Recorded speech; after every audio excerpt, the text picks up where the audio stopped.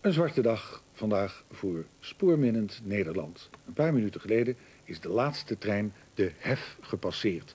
De Hefspoorbrug in Rotterdam is overbodig geworden omdat de trein vanaf nu onder de Maas doorgaat. Honderden Rotterdammers kwamen vandaag nog even langs om afscheid te nemen van wat ze zien als hun hef. Je wil geen tranen in mijn ogen, maar eh, het is moeilijk. ja. Ja. Dat geluid alleen al, hè, wat je dan hoort, dat eh, vind ik schitterend om te horen. Ik ben vandaag al een paar keer op en neer gereden. In 1927 werd hij gebouwd en in de loop der jaren moesten alleen wat onderdelen worden aangepast. De eer de laatste dienst te draaien heeft brugwachter Jacques Vogelaar.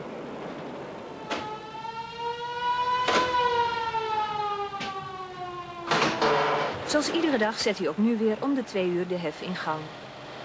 Ik heb hier ook graag gezeten. Want, eh, een hele fijne brug. Als je maar een beetje scheepvaart hebt. Hè. Ik vind het altijd lullig om open te gaan als je zo'n klein jachtje... eh, dan, eh, ja, dat is net een klomp voor ons natuurlijk. Dat, liefst zo, zo eh, groot mogelijk. Dan weet je waar je voor open staat. Ook de stoomlok neemt afscheid. Bij de Laurenskerk wordt nog even gestopt. Daar zijn ze blij dat het spoor ondergronds gaat.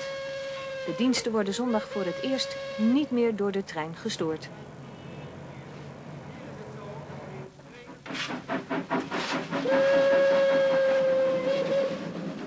Een oud-gediende is de hef zojuist als laatste gepasseerd. Nagekeken door weemoedige Rotterdammers.